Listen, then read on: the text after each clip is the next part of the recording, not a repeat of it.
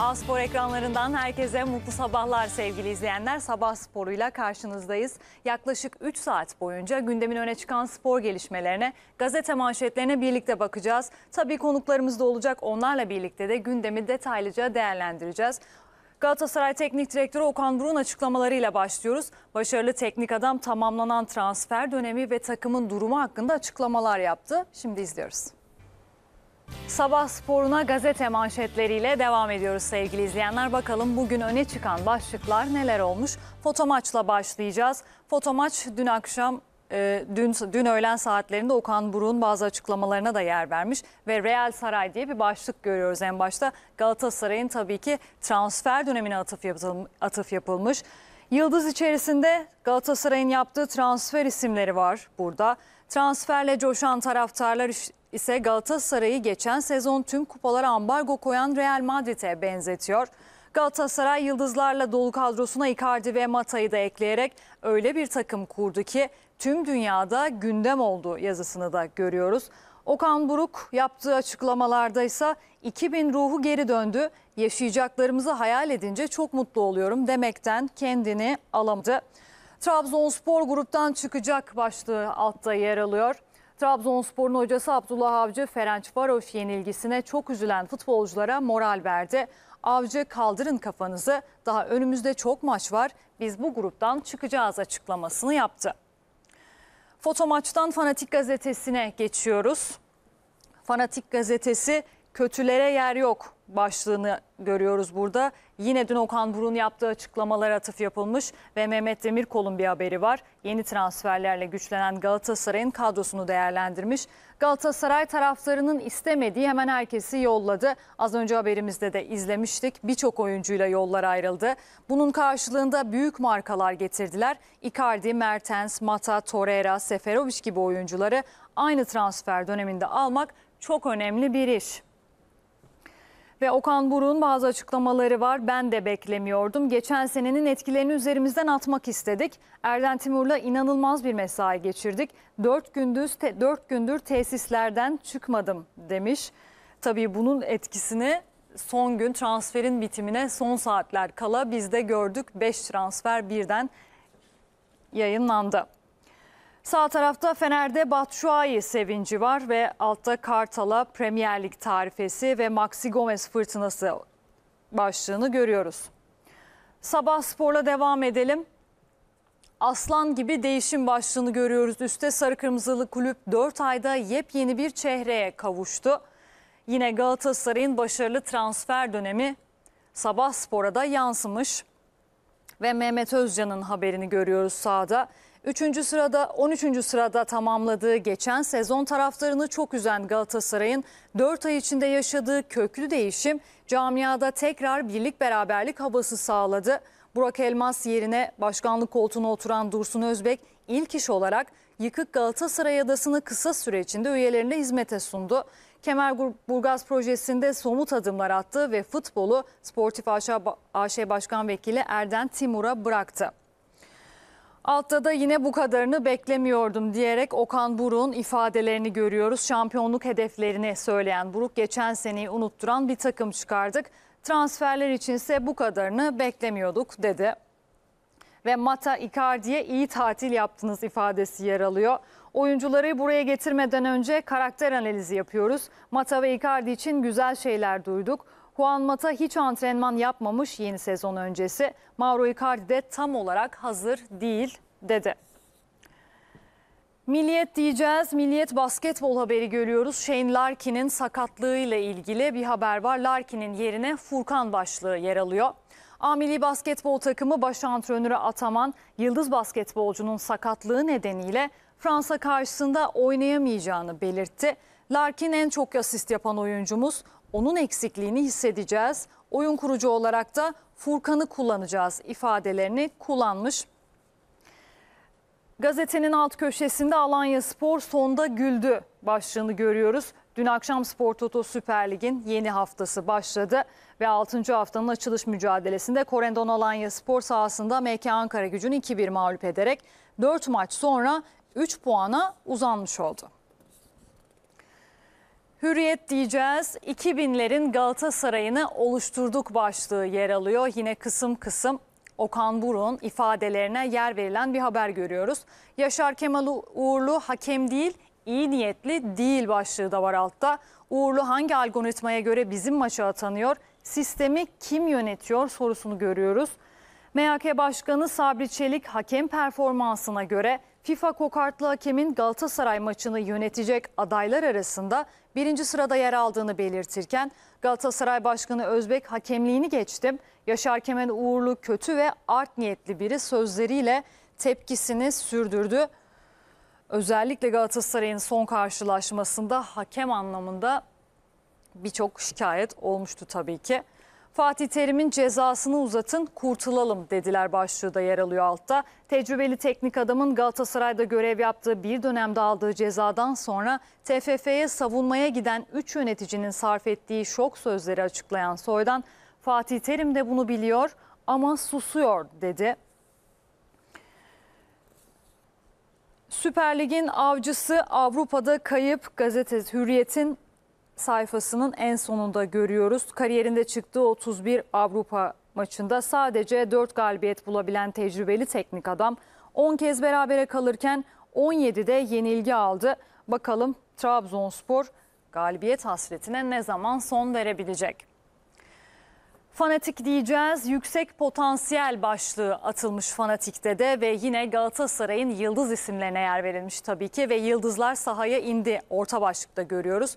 Transferin son gününde Mauro Icardi ile Juan Mata başta olmak üzere Yusuf Demir, Raşitza ve Ross gibi te tecrübelisinden gencine yıldızlardan yüksek potansiyeline kadar çok önemli 5 oyuncuyu renklerine bağlayan Galatasaray'da dün gerçekleşen antrenman bambaşka bir havada geçti. Yeni transferler imzaya atar atmaz Florya Metin Oktay tesislerindeki ilk antrenmana katıldılar.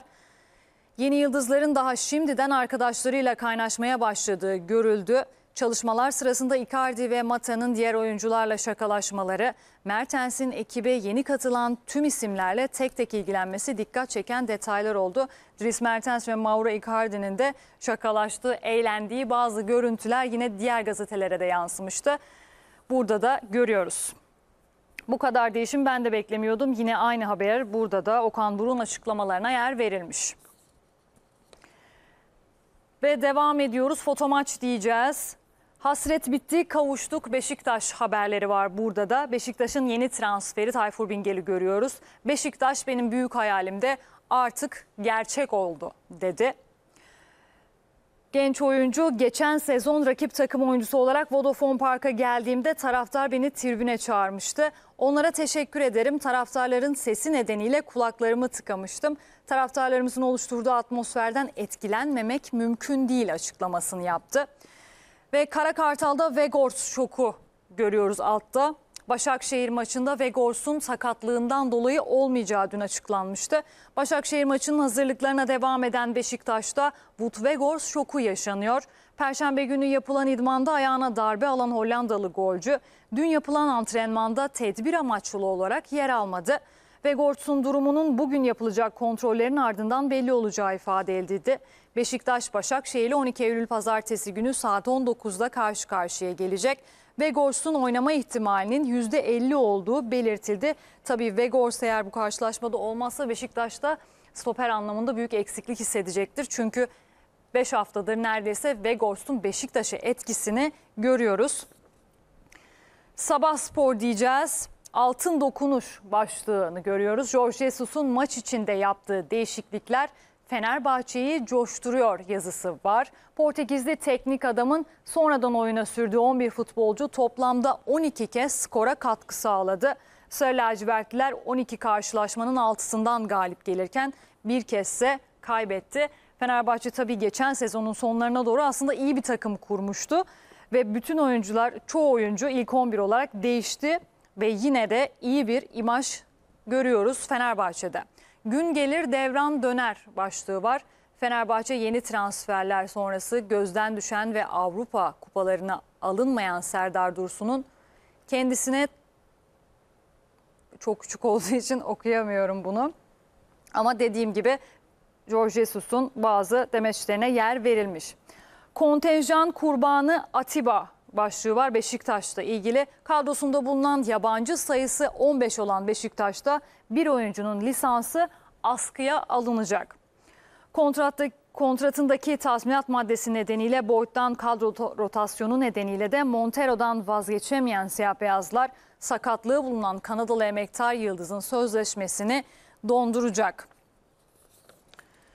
Hürriyet Spor diyeceğiz. Burada da basketbol haberi görüyoruz. Çeyrek finalin yolu başlığında.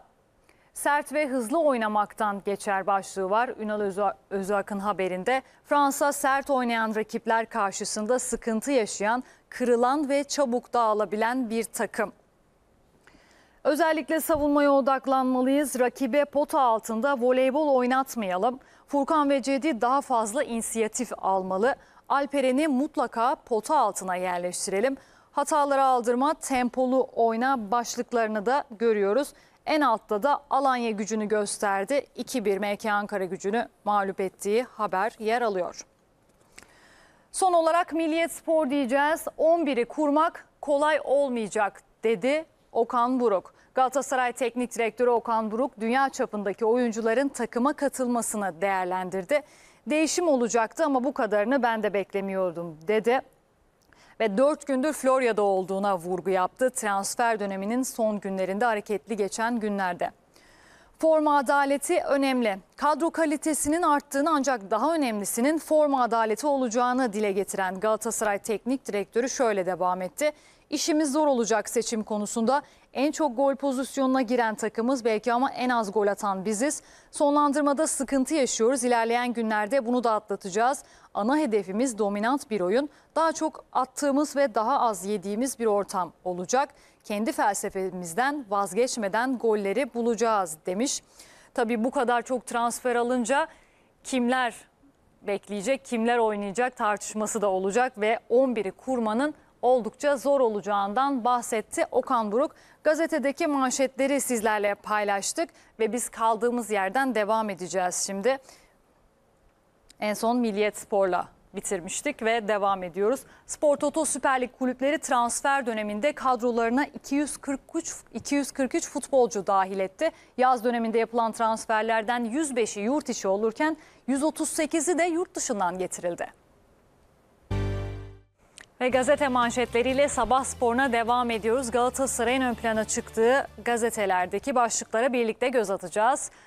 Foto maçla başlıyoruz. Yine Okan Buruk'un yeni transferler için çarpıcı bir değerlendirme yaptığı sözlere yer verilmiş.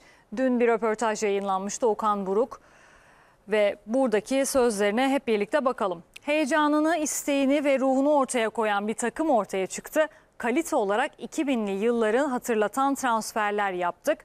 Boy ortalaması ve oyun tarzı benzerlik gösteriyor. 2000 dönemindeki oyunu ortaya çıkarmak en büyük hayallerimden dedi başarılı teknik adam. Tek hedeflerinin de şampiyonluk olduklarını olduğunu söyledi. Tabii yapılan transferlerde ve taraftarın da beklentisi tabii ki bu yönde olacak. Yıldızlar katkı verecek. Oyuncuları buraya getirmeden karakter analizi yaptıklarını söyledi Okan Buruk. Hem Icardi hem de Mata için iyi şeyler duyduk. Profesyonelleri takım içindeki davranış, davranışları, oyunculuklarını söylemeye bile gerek yok dedi. Galatasaray'ın 3 forveti olur başlığını görüyoruz. Bizim için santrfor mevkisi çok önemli. Şampiyon olmak isteyen Galatasaray gibi takımların en az 3 santrforu olmalı.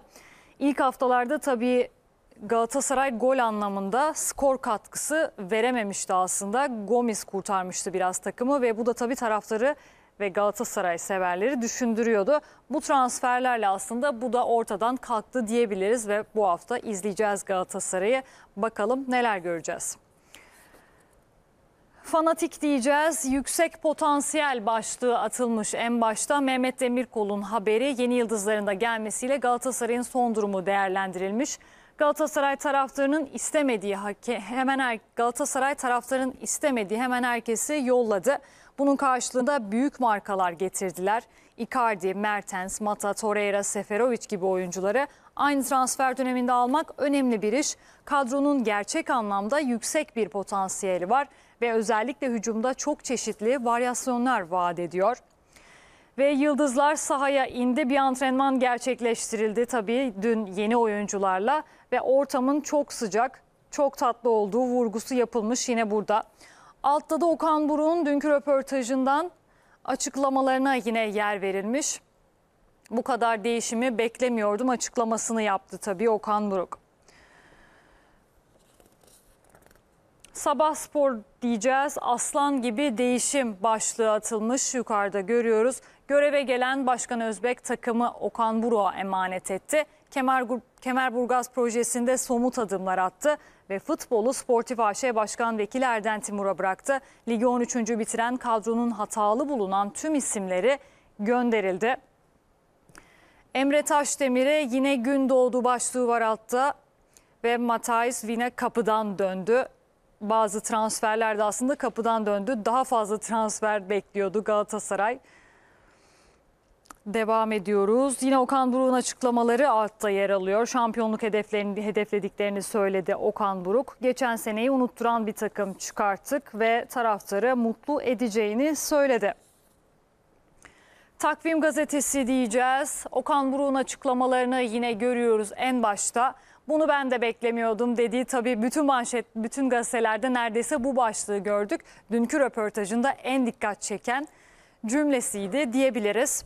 Galatasaray sadece masada değil, kasada da çok önemli bir transfer başarısına imza attı. Tabii gelen oyuncular kadar giden oyuncular da oldu ve bu da tabii Galatasaray'ın kasasını doldurmuş oldu. Sarı Kırmızılar geçen sezonu 13. bitiren ve maaş bütçesi 30.8 milyon euro olan takımı dağıttı.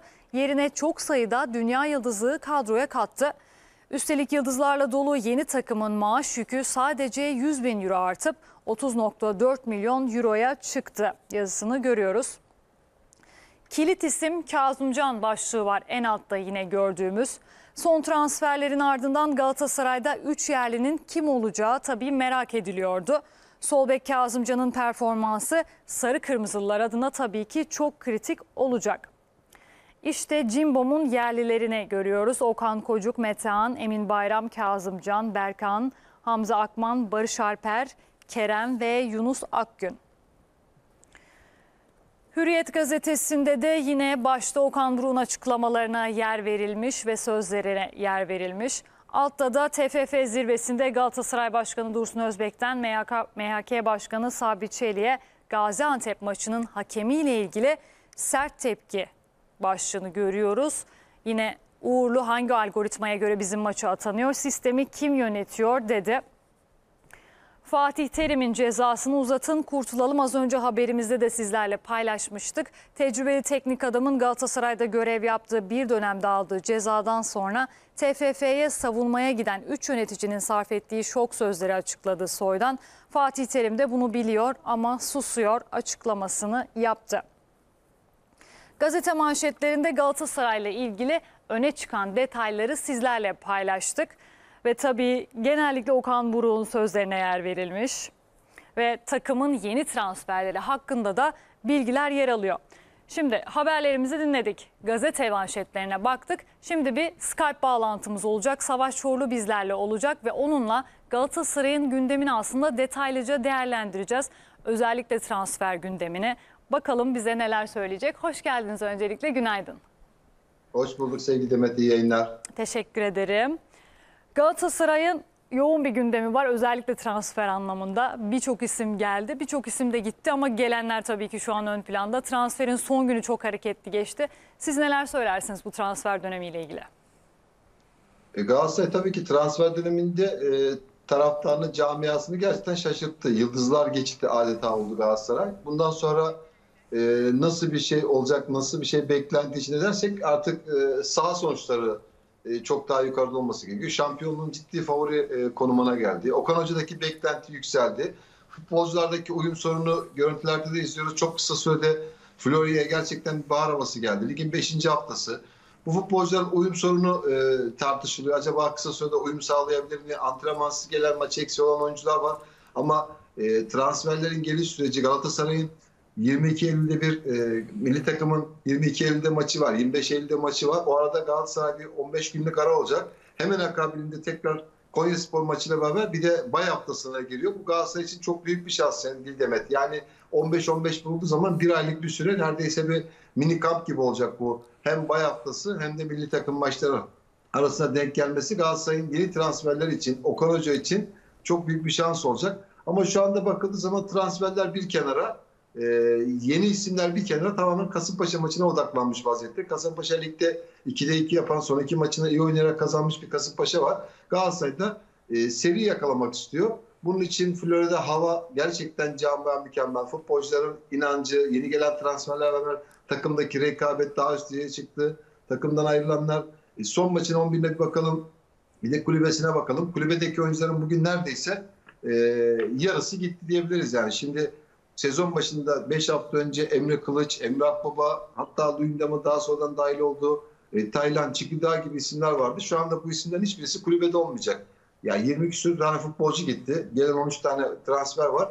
E, bu hafta belki yeniler değil ama önümüzdeki haftalardan itibaren sevgili Demet bambaşka bir Galatasaray izleyeceğiz. Muslera da dahil bir takımda yedek kalabilir. Bu ne demek oluyor? Geçen sezonun sahada görmeye alışık olduğumuz Taylan, Berkan, işte e, Muslera'lar birçok isim bu sezon bambaşka bir e, kadroya bürünecek. Belki de 11'de 11'in farklı olacağı haftalar bile görebileceğiz. Evet. Galatasaray her şey hazırlıklı olsun. Galatasaray başarıya alışkın bir takım. Galatasaray kenetlendiği zaman Galatasaray camiası bir araya geldiği zaman çok bambaşka e, sonuçlar ortaya çıkabiliyor. Burada da bugün çok net görünüyor. Yeni transferler Galatasaray'a uyum sağladığı zaman özellikle Icardi gibi, João Mata gibi isimler Galatasaray'a çok ses getirdi. Bu iki oyuncudan beklenti çok yüksek. İki oyuncunun da maç eksiği olabilir ama bunlar çok profesyonel bir oyuncu. Bu iki isimli takıma katıldığı zaman e, bambaşka bir Galatasaray izleyeceğiz. Bunun içinde Mertens'i de dahil edersek daha önce e, İtalya Ligi'nde çok üst düzey top oynamış, e, uzun süre aynı takımda oynamış ve e, efsanesi olmuş bir oyuncudan bahsediyoruz kulübün. Dolayısıyla burada Galatasaray taraftarlar şu anda maça gelip Türk Telekom Stadı'nda ilk maçta evinde oynayacağı Ali Samiyen Spor Kompleks'teki maça yeni futbolcuların formalarını alıp maça gelmek için sabırsızlanıyorlar. Kasımpaşa maçında da bunda e, az sayıda da olsa 2000 kişilik bir taraftar olmuş olsa da bu hafta yeni isimler, yeni takıma desteğini vermek için sabırsızlanıyorlar yarınki karşılaşma için. Az önce Okan Buruk'un açıklamalarını da detaylıca inceledik. O da aynı şeyi söylüyor aslında. Hani 11 bulmakta zorlanacağız. Belki bazen başarılı oyuncular aslında beklemek zorunda kalacak. Çok büyük bir e, hoca başarısı gerekecek burada. Gerçekten de türbinde gidecek olan oyuncular olacak, kulübeye geçen oyuncular olacak. Daha önceki haftalarda yaptığım yayınların hepsinde şunu söylüyorum sevgili Demet. Kulübe o kadar boştu ki, kulübedeki isimler e, o kadar zayıf isimlerdi ki Galatasaray'ın maçı oynamadan 5 yapacağı değişikliğin ilk üçü buydu. Dördüncü, beşinci de bu olur diye biliyorduk. Ama şimdi o isimlerden gidenler oldu. Dolayısıyla bundan sonra gelenlerle beraber Okan Hoca'nın sadece kulübedeki yapacağı değişiklik değil, tribüne çıkmak zorunda kalacak oyuncular da olacak. Ve burada e, hoca başarısı çok önemli. Hocanın oyuncuları hepsini hazır tutması çok önemli. Futbolcuların mental anlamda hazır tutmak önemli. Psikolojik anlamda gerinin çıkanın küsmemesi, trip atmaması bunlar o kadar önemli ki. Bunları sağlık olan, sağlayacak olan da Okan Hoca. Okan Hoca da futbolcunun zamanında çok iyi bir döneminde dahi kulübede kaldığı dönemler oldu. Kimle çalışıyordu? Fatih Terim gibi çok önemli bir teknik adamla çalışıyordu. Burada da Okan Hoca futbolcuların hepsi birbirinden yıldız ama unutmamak gerekiyor ki Okan da bir yıldız ve Okan da formda. Sezonun ilk 5 haftasında bir galibiyet, bir mağlubiyet, 3 beraberlik tamam ama eksik olan bir Galatasaray vardı. Galatasaray'ın transferleri çok geç gelinmişti, kalınmıştı. Kamp döneminde takımı tanımaya çalışan bir Okan Buruk vardı. Bundan sonra Okan Hoca'nın yükü ağır, kendisi de farkında ve bunun e, futbolcular da farkında olması lazım. Forma kimsenin garanti değil. Herkesin alternatifi var. Daha önce şu isim işte alternatifi yok diyorduk. Ama bugün bakıyorum ben elimdeki kadroya baktığım zaman iki tane 11 çıkarıyorum. Yerlisiyle yabancısıyla. Çok net burada oynadım. E, bakıyorum Muslera da, Okan da, işte Kazım Can da, Patrik Van Aanholt da. Hatta şimdi e, Dubai de dönüyor. Dubai'nin dönmesiyle beraber belki de sol bek de Kazım Can da yer değişebilir. Dubai ya da daha önce oynadı. Boy da sol bek oynayabiliyor. Bu konuda hocanın eli oldukça genişledi pardon olmayan bir kadroyla çalışacak Okan Hoca. Mutlaka kendisi de bunun farkında ifadelerinde de var. Ben e, çok keyif veren bir Galatasaray izleyeceğimizi umuyorum önümüzdeki günlerde. Hı hı. Yayına başlarken söyledim. E, milli maç arasıyla bay haftası Galatasaray'a çok yarış, yapacak. Yani yarayacak. İki tane 15'lik bir ara var. Bu iki 15'lik arada yeni oyuncuların tamamı takıma e, adaptasyon sorununu aşmış olacak. eksik olanlar, kondisyon eksiği olanlar, maç eksiği olanlar da bu sürede tamamlamış olacaklar. Yarınki karşılaşmada yeni oyunculardan 11'de beklemek mümkün değil. Ben e, son maçın 11'inde çok yakın bir 11 bekliyorum. Hatta aynısı da olabilir. Yedekler konusunda kulübede belki birkaç tane yeni oyuncular olacaktır ama 11'de ben e, birebir son maçın 11'ini bekliyorum. Yine Gomez'i forvette bekliyorum bu hafta. Peki Galatasaray aslında ilk 5 hatta ilk 4 de diyebiliriz. İlk 4 haftada skor katkısı anlamında zorlanmıştı ve Gomis'in Galatasaray'ı kurtardığını biliyoruz. Son maçta yine başarılı bir performanstı. Maçı aldılar. Bu yeni oyuncular sizce skor anlamında eski Galatasaray'dan farklı bir yön çizebilir mi? E, mutlaka çizecektir. Çünkü çizmelidir. Bunun için transfer edildi. E, Icardi gibi Mertens'in yükleri bu sefer daha farklı olacak. Belki kanata geçecek. E, Mirta, Mertens, e, Icardi, Seferovic bakıldığı zaman bunların hepsi birbirinden değerli ayaklar ve Galatasaray'ın şu andaki 5 maçında e, bakıldığı zaman 3 golünü Gomis atmış, bir golünü Seferovic rakibe e, çarparak rakibe yazılan bir golden bahsediyoruz. Gol konusunda kısırdı ama unutulmamak ki ligin önemli takımlarından yediği gol de az olan bir takım var. Sonuçta bunu geliştirmesi lazım. Atacağı golü e, daha fazla çıkartacak, yiyeceği golü daha az demeyeceğim ama zaten az e, gol yiyen Galatasaray var. Bunu ya da şöyle söyleyebiliriz. Savunması daha çok oturacak. Hücum hattı daha oturacak. Orta sahası güçlenen, bekleri güçlenen bir Galatasaray. Bakın sezon başında kadro dışı kalmış bir Şaşa Boy şu anda takımın vazgeçilmezi oldu. Kadro dışı kalıp iki tane de kamp yemedi. Kamptan sonra Florida takımla beraber çalıştırılmadı neredeyse bu oyuncu. Takımla idmana alınmadı. Ama öylesine bir hırs yaptı, öylesine çalıştı ki Şaşa Boy bu takımın şu anda vazgeçilmesi. Dubai'yi tamamen e, takımın 11'e monte edecek oyuncusu olarak gözüküyordu. Şu anda bu hafta kulübede olacak. Buna hazırlıklı olacak Galatasaray. Şaşa Boy gibi bundan sonra bir süreçte benim formam garanti diye kimse görmeyecek. Ben artık bir de Patrick Van bir patlama bekliyorum. Patrick Van e, tecrübeli bir oyuncu. Geçtiğimiz sezon iyi maçlar çıkardı. Geçmiş tecrübesi kariyerine baktığımız zaman çok iyi maçları var. Şaşa Boy'un da artık bu forma rekabeti içinden etkilenip yoksa kendisini bir anda kulübede değil tribünde de bulabilir. Orası vazgeçilmezdi. Şu ana kadar vazgeçilmezdi. Kazımcan'ın e, tecrübesizliği burada mecburiyetten ye- yerli ağırlıklı olacağı için 3 yerliden dolayı Kazımcan'ı da izleyebiliriz. Ya da e, yeni transferlerden boyu bir tarafa atıp Dubai'yi de izleyebiliriz. Ama kanatlar ve orta saha konusunda Mitchell dönüyor. Mitchell'ın bu hafta kulübede olmasını bekliyorum. Torreira, Oliveira ikilisini izliyorduk. Ama orada Torreira, Mitchell ikilisini de izleyebiliriz. Sergio Oliveira'nı da kulübede bundan sonra görebiliriz. Mertens, Gomis ileride kim merak ediyordu? Gomis'in geçen haftaki 45 dakikalık performansı, attığı gol, istekli oyunu Kasımpaşa maçındaki bize şunu gösteriyor. Yine Gomis'i forvette izleyeceğiz gibi geliyor. Onun dışında yeni forvet oyunculara, transferlere bakacak olursak takımdaki rekabeti ne kadar arttırdığını bu hafta göreceğiz. Ben Kasımpaşa maçında yeni transferlerin e, bundan önceki o 5 haftalık performansa baktığım zaman tüm oyunculara yansıyacağını düşünüyorum sevgili Demet. Son olarak sizden pazar günü oynanacak Kasımpaşa Galatasaray maçı ile ilgili bir yorum alayım. Kasımpaşa'da çünkü son iki maçtır gol yemiyor, başarılı gidiyor şu anda. Nasıl bir maç bekliyorsunuz? E, kolay maç olmayacak. Belki de bu 5 haftalık dilimin en zor maçlarından bir tanesi olacak. Kasımpaşa nedendir bilmez ama sezon başları hep sancılı başlayıp sonra açılma e, bir dönemine giriyor. 2 haftalık dilimde de evet gol yemedi. Kazanan bir Kasımpaşa var. Ama Galatasaray'daki bu transferlerin mesela Emre Akbaba'da olduğu gibi değil. Emre Akbaba'nın olduğu yerde Mertens transfer edildikten sonra performans düşüklüğü olmuştu ve şu anda Emre Akbaba e, takımda değil artık. Sezon başında Emre Akbaba 3 yerliden dolayı bu takımın vazgeçilmezi olarak gösteriliyordu. Öyle görüyordum. Ama öyle oyuncular transfer edildi ki Emre Akbaba bugün bırakın takımın vazgeçilmezi takımda olmadı. Şu anda yine geçtiğimiz sezon gibi kiralanan bir takımda. Geçtiğimiz sezondan bambaşka bir takım var. Kasımpaşa maçı kolay olmayacak ama ben ilk 5 haftanın üzerinde futbol oynayacak bir Galatasaray bekliyorum. Galibiyete yakında bir taraf Galatasaray'ın olacağını düşünüyorum. Hem de iyi futbolla, iyi oyunla ve e, rahat bir sonuçla galip gelebileceğini düşünüyorum açıkçası. Peki aktardıklarınız için çok teşekkür ediyoruz sizlere. Ben teşekkür ederim. İyi yayınlar sevgili. Teşekkür ederiz. Savaş Çorlu ile birlikte Galatasaray'ın gündemini detaylıca değerlendirdik ve Fenerbahçe ile devam ediyoruz. Fenerbahçe'nin yeni transferlerinden Gustavo Henrique 2-1 kazanılan Dinamo Kiev maçında maçındaki performansıyla alkış topladı. Ve Sabah Spor'una Fenerbahçe'nin gazete manşetlerinde öne çıkanlarıyla devam ediyoruz. Ve foto maç diyeceğiz tabii ki. Avrupalı Fener başlığı atılmış ortada görüyorsunuz. Fenerbahçe'nin Dinamo Kiev karşısında aldığı 2-1'lik galibiyetle başlıyoruz. Kanarya yarıştığı her kulvarda iddialı. Avrupa kupalarında şimdiden 7 maça çıktı. Rakip ağları 13 defa sarsmayı başardı. Skor anlamında bu sezon Fenerbahçe aslında neredeyse hiç sıkıntı yaşamıyor diyebiliriz. Ener Valencia kupaya doğru.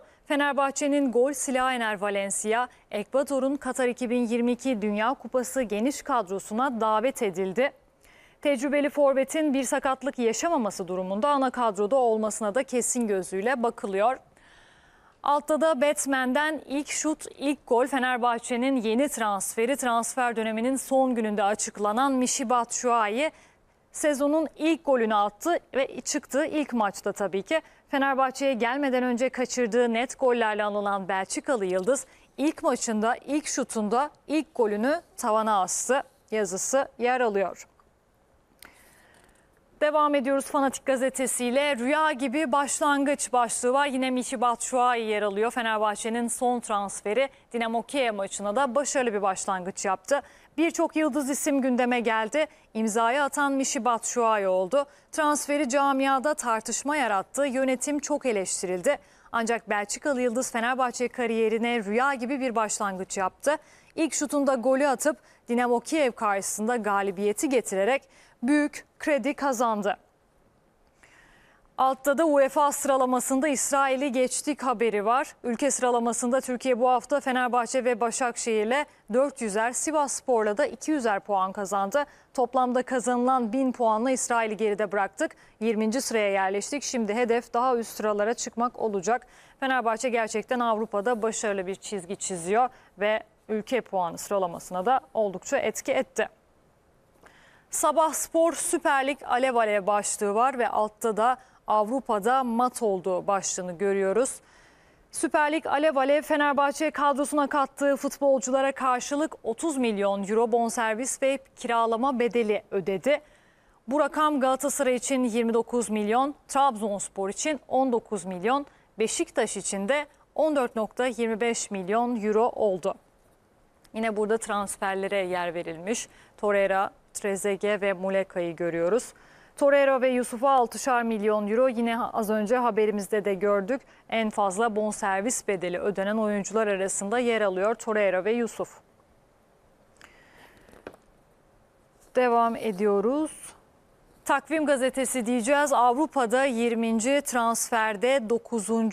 başlığı var.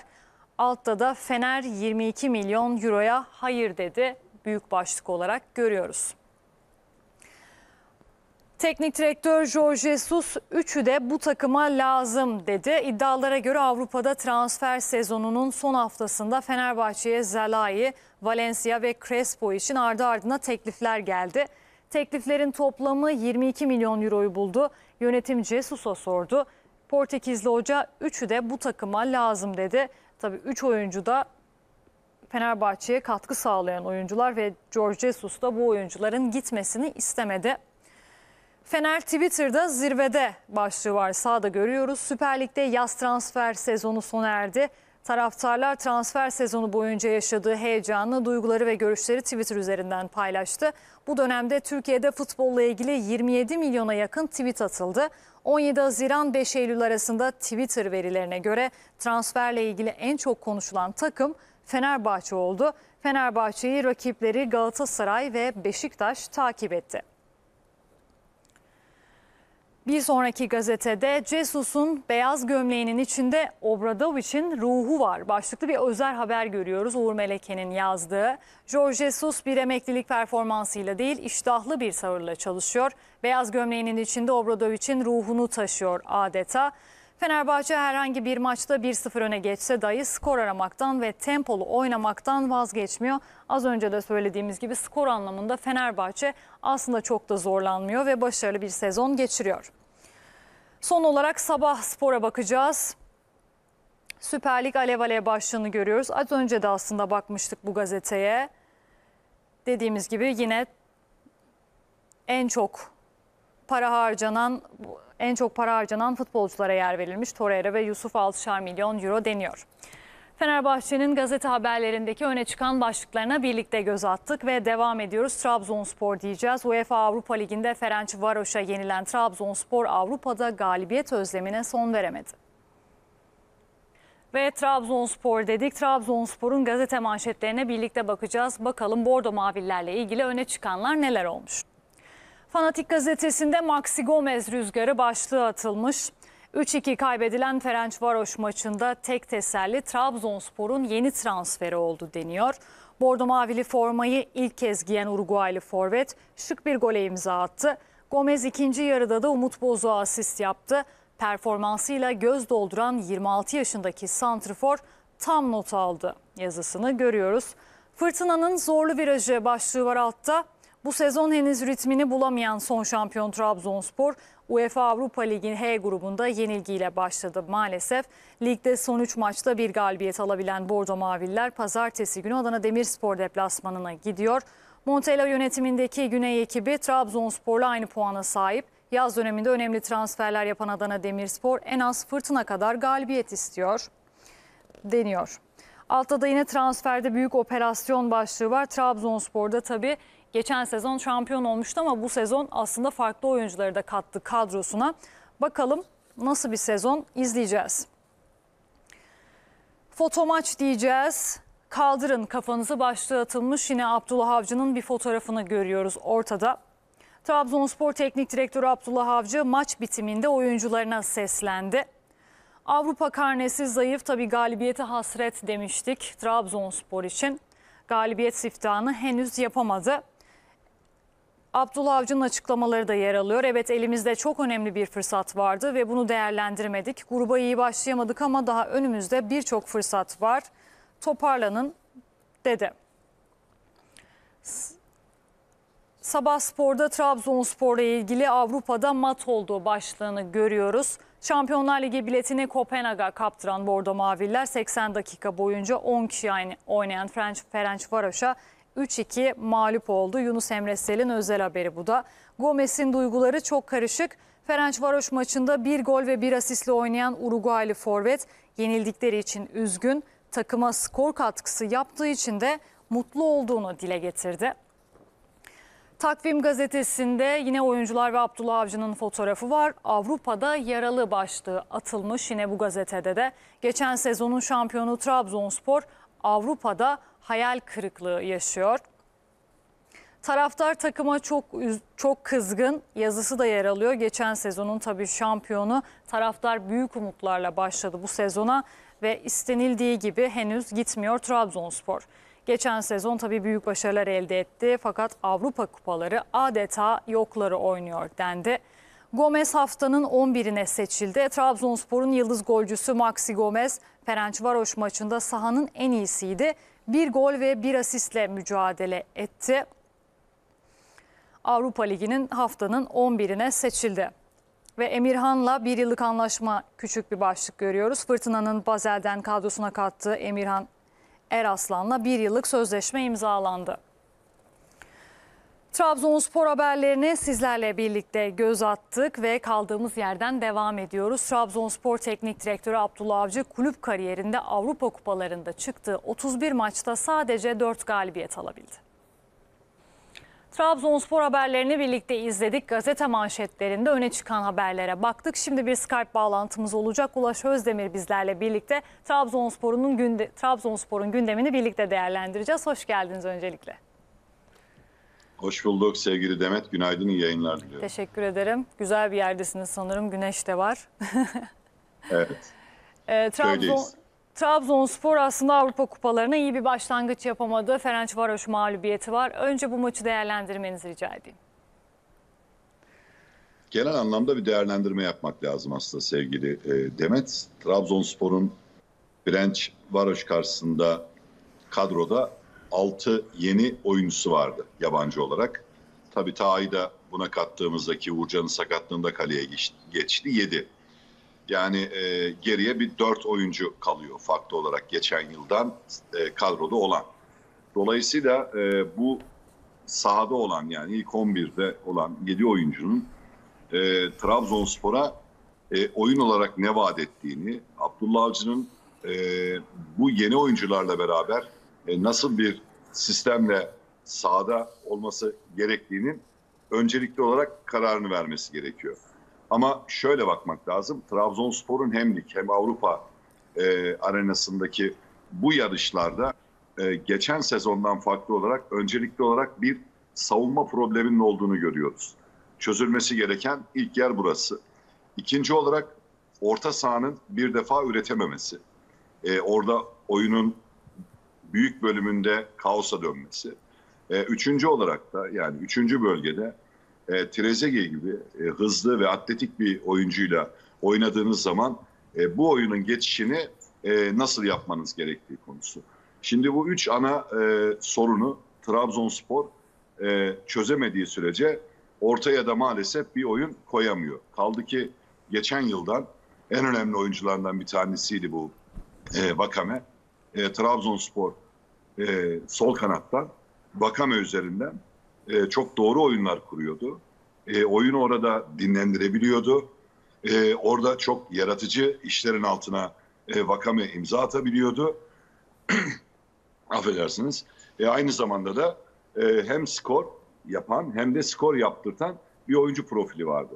Şimdi Vakame ile e, Trezeguet'in özellikleri birbirinden farklı.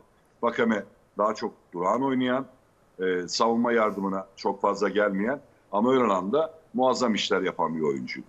Aynı zamanda sağ kanatta da e, Edin Visca'nın sakatlığından sonra e, Trabzonspor baktığımızda iki kanattan da e, doğru bir oyun kurgusunu yapamadığını görüyoruz.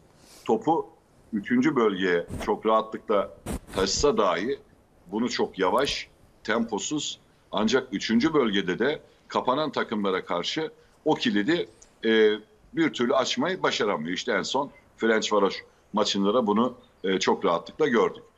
Ama başka bir sorun var aslında Trabzonspor'un. Savunma hattı. Yani Trabzonspor geçen yıl e, ligin en az gol yiyen takımlarından bir tanesiydi. E, şimdi baktığımızda bu sezon özellikle e, Batra, Dansville, Hugo yani 3 stoper e, tandemiyle değişkenli oynadığını görüyoruz. E, kanat yani bu anlamda bekleri de baktığımızda Eren ki Türkiye'nin yerli anlamında en iyi e, bek oyuncularından bir tanesi. Diğer tarafta Larsen ki kariyeri zaten belli. E, Udinese'den Trabzonspor'a e, transfer oldu. Orada e, serbest statüye düştükten sonra ki savunmanın da bir okuludur İtalya Ligi baktığımızda. E, Ferencvaros maçında e, yerleşim hatasından kaynaklı özellikle Dansville'in e, offside'i bozması nedeniyle bir e, gol yedi Trabzonspor. E, ikincisi yine Hugo'nun e, penaltıya sebep olduğu bir pozisyondan ikinci golü yedi. E, şimdi bu bura bir defa çok ciddi anlamda problem. E, orta sahada da Trabzonspor'un e, Hamşik'in muadili bir oyuncuyu kadrosuna katmamasından, katamamasından dolayı özellikle onu arıyor. Dikkat edin Hamşik hem ligde hem Avrupa'da oyuna girdikten sonra Trabzonspor'un oyunu tamamen değişiyor. Bu şey demek aslında e, bu oyunu tamamen Hamşik'in üzerinden organize etmek ancak diğer taraftan da e, Hamşik olmadığında ne yapacağının kararını verememiş Trabzonspor. Yani daha doğrusu Abdullah Avcı. Evet Gibamin oraya bir e, tempo getirecektir mutlaka ama e, Hamşik ile beraber oynadığında ve Hamşiksiz oyunda aslında Gibamin'i daha net göreceğiz. Bir 90 dakika, bir 180 dakika izlemek gerekiyor. Şimdi bütün bu totalden şuraya gelmek lazım. Evet Trabzonspor geçen yıl ligi domine ederek şampiyon oldu.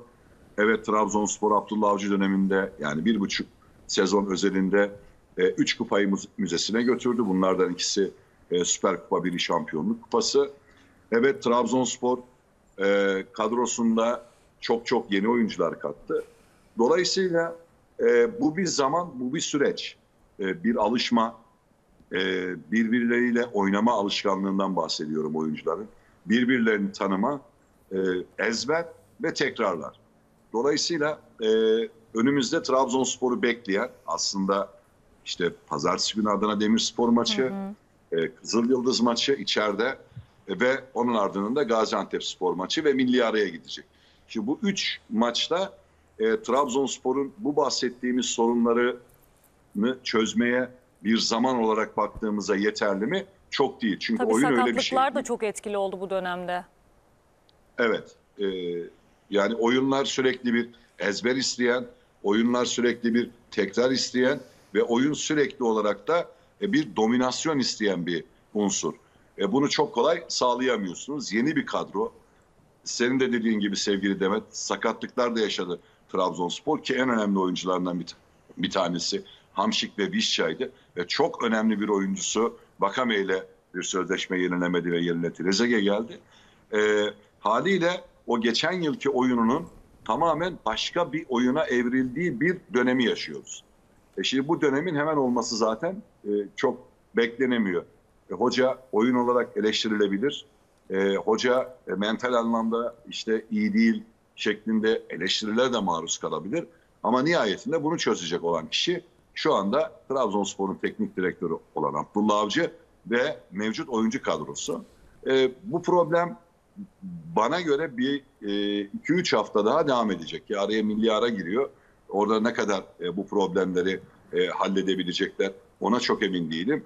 Ama şunu da söylemek lazım. Trabzonspor'da e, çok başarılı işlerin altına imza atmış bir teknik direktöre e, bu oyunu e, yeniden o dominant seviyeye e, getirmesiyle ilgili bir zamanın elbette tanınması. E, eleştirilerde yapılabilir. Bunlara herhangi bir şey demiyorum. Ama biraz beklemek e, ve biraz e, sabır etmek gerekiyor. Çünkü Evet. geçen yılki oyuncu kadrosuyla tamamen farklı bir e, oyuncu profilleri Trabzonspor'a geldi. Dolayısıyla bu yeni profillerle yeni bir oyunun oluşturulması e, biraz zaman alacak. Başka bir şey daha var. E, sevgili Demet eğer müsaade edersen onu da Tabii. söyleyeyim. E, Trabzonspor'un fiziksel oyunda çok olmadığını, bir tempo sorununun yaşadığını da görüyoruz aslında. Bu da bence e, en önemli detaylardan bir tanesi. E, hatta en önemlinin ilk detaylarından bir tanesi. Buranın da ciddi anlamda bir çözüme kavuşturulması gerekiyor.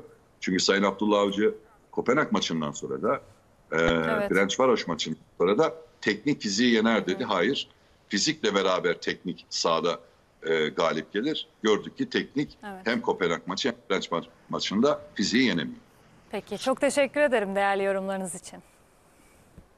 Ben teşekkür ederim Demet. İyi yayınlar, iyi hafta sonları. Teşekkür ederiz. Ulaş Özdemir ile birlikte Trabzonspor'un gündemini değerlendirdik ve bu saat diliminin sonuna geldik. Sizleri şimdi temsilcilerimizin Avrupa sahnesinde oynadığı maçların özet görüntüleriyle baş başa bırakıyoruz. Saat başında yine burada olacağız. Şimdi A-Spor editörü Furkan Bozoğlu Süper Lig'in transfer gündeminden notları bizlere aktaracak. Teşekkürler Demet Gedik. Evet Süper Lig'de artık yaz transfer dönemi sona erdi. Kulüpler bazı oyuncuları kadrosuna kattı. Kimi oyuncular da tabii ki yolları ayırdı kulüplerle. Süper Lig'in transfer gündemine son kez bakacağız. Yaz transfer döneminde kulüpler 4 büyük kulüp hangi oyuncuları kadrosuna kattı? Hangi oyuncularla yollar ayrıldı? İlk olarak Galatasaray'la başlayacağız. Yaz transfer dönemine damga vurmuşlardı. Şöyle gelen oyunculara bir göz atalım. İlk sırada Dries Mertens'i görüyoruz. Belçikalı oyuncu Belçika milli takımının da vazgeçilmez isimlerinden birisiydi. Napoli'deki o kariyerini bit- bitirdikten sonra Galatasaray'a transfer oldu. Hala bir Napoli efsanesi olarak, yaşayan bir efsane olarak dikkati çekiyor Mertens. İkinci sırada Lucas Torreira Arsenal'dan bonservis alındı. Fredrik Mitchell AZ Alkmaar'dan geldi. Leo Dubois Lyon'dan, Haris Seferovic Benfica'dan, Sergio Oliveira Porto'dan, Abdülkerim Bardakçı Konyaspor'dan Kazımcan Karataş sol bek takviyesiydi. Fanan Olt'un şu an için bir e, rotasyon oyuncusu olarak görebiliriz. Fanan Olt'tan sonra Altay'dan geldi. Mauro Icardi flash transferlerden birisiydi. Paris Saint Germain'de e, hala bonservisi şu an 6 milyon 750 bin euroluk bir ödemesi söz konusu. Bir yıllık maaşının toplam tutarı bu. 6 milyon eurosunu Paris Saint Germain 750 bin eurosunu Galatasaray vereceğini hatırlatmış olalım. Galatasaray bunu resmi yerlerden açıklamıştı. Juan Mata Manchester United'la sözleşmesi sona ermişti. Juan Mata İspanyol oyuncu da artık Galatasaray'la 1 artı 1 yıllık sözleşme imzaladı. Galatasaray forması giyecek. Yusuf Demir Rapid Wien'in oyuncusu kiralık olarak Barcelona'ya gitmişti. Barcelona satın alma opsiyonu kullanmadı. Tekrar Wien'e gitti. Rapid Wien'de doğduğu yerden gittiği ikinci takımsa Galatasaray oldu. Milot Rashica O da Norwich City'nin oyuncusuydu. Daha önce Werder Bremen formasıyla da gördük kendisini. Üst düzey bir performans ortaya koymuştu. Bakalım kanat bölgesinde nasıl bir performans sergileyecek. Ve son sırada ise Matias Ross Aalborg'dan transfer. Nelson'dan sonra bir diğer Danimarkalı stoperi oldu Galatasaray'ın. Gelenler bu şekilde. Bir de yolları ayırdığı, sarı kırmızılı ekibin yollarını ayırdığı listeye bir göz atalım. Marcao 13 milyon euro kazandı. Galatasaray bonuslarla birlikte 15 milyon euroya kadar çıkabilecek bir e, durum söz konusu. Sofyan Feguli, Ryan Babel, Arda Turan, Halil Dervişoğlu, Embaye Cagne, Erik Pulgar, Aytaç Kara, Alparslan Öztürk, Semih Kaya, Iñaki Peña, Fatih Öztürk, Cese Sekidika, Mustafa Muhammed, Olimpio Morutsan, Omar El Abdelawi, Emre Kılınç, Taylan Antalyalı, Ömer Bayram, Emre Akbaba, Oğulcan Çağlayan ve Atalay Babacan'la e, yolları ayırdı Galatasaray. Kimi oyuncular tabii ki sonraki aşamada e, dönebilir. Mesela buradan Mustafa Muhammed, Nant'ın satın alma opsiyonu söz konusu. Eğer bu durum gerçekleşmezse tekrar takıma döneceğini söylemiş olalım. Bir diğer isim ise tabii ki burada forvette golcüler için söyleyebileceğimiz bir isim Mbaye Cagne. Galatasaray'ın giden oyuncuları da bu şekilde. Bir diğer takımsa Fenerbahçe oldu. Yine bir kadro revizyonu yapan bir takım oldu Sarı Lacivertliler yaz transfer döneminde. Gelen oyuncular Michi Batshuayi Chelsea'den bonservisi alındı. Ezcan Alioski Arap Yarımadası'ndaydı. Kiralık olarak geldi. Luan Perez Marsilya'dan bonservisi alındı. Gustavo Henrique Flamengo'dan geldi. Emre Mor yine takıma dahil olan oyunculardan birisiydi Karagümrük'ten. Lincoln Henrique Willian Arau, Joshua King, Joao Pedro, İrfan Can Eğribayat ve Buruma Fenerbahçe'nin bu sezon kadrosuna kattığı oyuncular olarak dikkati çekiyor. Bir de giden isimlere göz atalım. Giden oyuncularsa Samatta, Mesut Özil, Kim Min-jae, Allah Yarsa Yetmeneş, Ozan Tufan, Muhammed Gümüşkaya, Diak, Arda Kurtulan, Luis Gustavo, Berke Özer, Jose Sosa, Murat Sağlam, Max Meyer, Mergin Berisha, Pelkas, Kalkır, Tisseran ve Burak Kapacak oldu. Bu oyunculardan da bir kısmıyla tamamen yollar ayrıldı. Diğer kısmıyla ise diğer oyuncularsa bazı oyuncularsa kiralık olarak Fenerbahçe'den başka takıma gitti ve oradan tekrar Fenerbahçe'ye Sarı Lacivertli kulübe dönecek. Bunlardan biri örnek olarak da son sırada ismini okuduğumuz Burak Kapacak. Bakalım Fenerbahçe'ye daha güçlü dönebilecek mi? Önümüzdeki süreçte dönemde göreceğiz tabii ki. Beşiktaş'a da göz atalım. Gelen oyuncular damga vuran takımlardan birisi oldu Beşiktaş Süper Lig'de yaptığı transferlerle. Wood ve Gorst Burnley'den geldi. Satın alma opsiyonu var 10 milyon euro. Bakalım Beşiktaş sezon sonunda bunu kullanacak mı? Cenk Tosun eski oyuncusuna yeniden kavuştu Beşiktaş. Muleka hangi takıma gidecek dedik. Kasımpaşa'dan e, sonra Beşiktaş'ın yolunu tuttu. Bonservisini aldı Anderlecht'ten. E, si- siyah beyazlılar. Jetson Fernandez, Masuaku, Sayis, Emrecan Uzunhan, Delali, Kerem Atakan Keskin, Nathan Redmond, Tayfur Bingöl ve Tayyip Talha Sanuç Beşiktaş'ın gelenler listesinde bulunan oyuncular olarak dikkati çekiyor. Beşiktaş'ta da kısmen kadro revizyonunun olduğunu söyleyelim. Gidenlere de göz atalım hemen. Michi Batshuayi, Pjanic, Alex Teixeira, Domagoj Vida, Rıdvan Yılmaz, Emirhan İlkan, Güven Yalçın, Oğuzhan Özyakup, Gökhan Töre, Mehmet Topal, Can Bozdoğan, Lens, Laiç, Ensakala, Douglas, Kartal Kayra Yılmaz, Kenan Karaman, Serdar Saatçı, Larin, Hasic ve Emirhan Delibaş Beşiktaş'ın gidenler listesini oluşturuyor. Burada önemli iki transfer söz konusuydu gidenler içerisinde. Rıdvan Yılmaz Rangers'ın yolunu tuttu. Emirhan ise bonservisiyle serbest kalma bedelini ödeyen Torino'ya gitti. Bakalım bu iki oyuncu, iki genç oyuncu nasıl bir performans ortaya koyacak gittikleri yerde merakla bekliyor olacağız.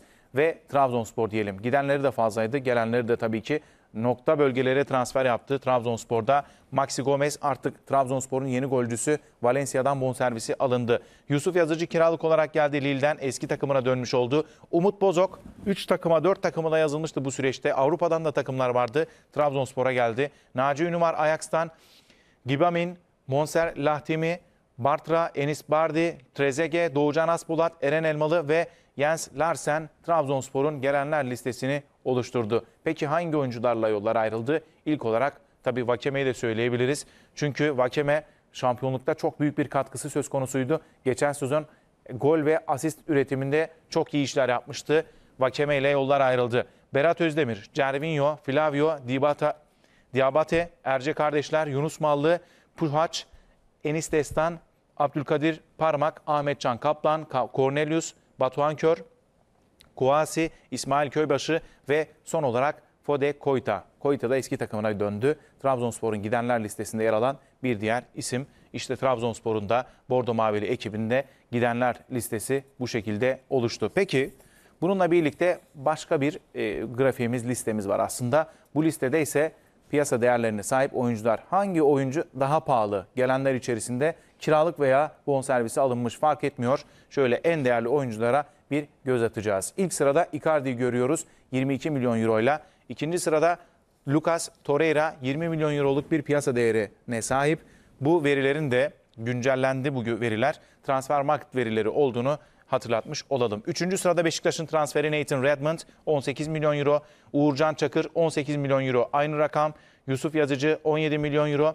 Kerem Aktürkoğlu 16,5 milyon euro ve ardından Beşiktaşlı oyuncu Delali'yi görüyoruz 16 milyon euro ve aynı rakama sahip bir diğer isim Fenerbahçe'nin genç ve deneyimli isimlerinden birisi Altay 16 milyon euroluk bir piyasa değerine sahip ve Bertrand Traore Başakşehir'in flash transferlerinden birisiydi. Premier Lig'den geldi. O da 16 milyon euroluk bir piyasa değerine sahip. Son sıradaysa yine Sarı Lacivertli ekipten Fenerbahçe'den bir isim Diego Rossi Uruguaylı oyuncunun piyasa değeri transfer market verilerine göre 14.5 milyon euro. Bakalım bu oyuncular en değerli oyuncular ama performans olarak da bu liste içerisine ilk sıradan girebilecekler mi? Önümüzdeki süreçte tabii ki göreceğiz. Süper Lig'in transfer gündemini şöyle ele almış olduk. Yaz transfer döneminin de sona erdiğini bu hafta içerisinde söylemiş olalım.